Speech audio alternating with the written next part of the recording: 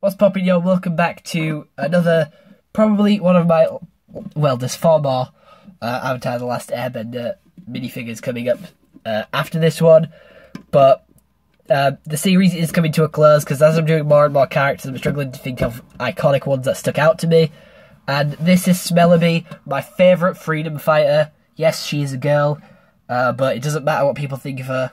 Um, Avatar has some really good messages because she doesn't care what people think of her as long as she like is as long as she accepts herself that's fine. And Toph also says something along the lines of i'm not looking for approval i know who i am. So like avatar is very inspirational and uh, if you haven't seen it it is on netflix so i do recommend you go check it out. And SmellerBee has been one of my favorites and um, she's part of the freedom fighters and the revamped freedom fighters and she was there when jet died Sorry if you haven't seen Avatar The Last Airbender, that was a huge spoiler. Uh, not going to tell you how or where, just going to tell you he died. And um, if you haven't seen Avatar The Last Airbender, you should have done before clicking this video, and I apologise. Um, but yeah, here is SmellerBee. I think that's her name. Uh, ow. I just hit the side of the box. Uh, but I'm using short green legs I got from... Uh, uh, who did I get them from?